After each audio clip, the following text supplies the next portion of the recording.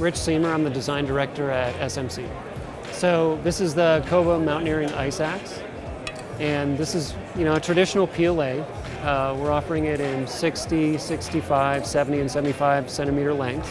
We went with a bonded construction for the head and for the spike, and so it's much cleaner. It ends up being much stronger than, than the pin connections we used to use.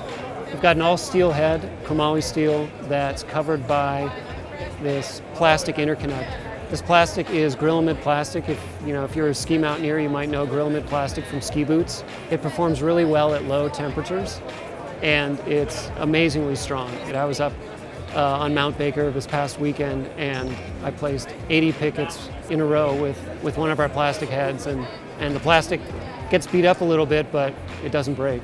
So the, the head's not interchangeable, it's a fixed head. You know, we spent a lot of time trying to figure out a way to sculpt that head that it would have you know, a really comfortable grip. You can do kind of the split fingered grip. So if you're doing uh, self belay grip, it works. If you're doing self-arrest grip, it works. There's also a little rib here kind of on the back that if you want to you know, have your finger on that like that, it offers you a little bit more control. So there are a lot of different hand positions you can use. Really comfortable and it's, you know, with the plastic going all the way over the head, it's really going to keep your hand a lot warmer than if you're just hanging on to a piece of steel all the time. So the amount of testing and development that went into this whole project was uh, a lot of work, but we've had really good results with, with a lot of that testing. We actually ended up with a stronger product than, than we would have had if we'd done some conventional methods of assembly.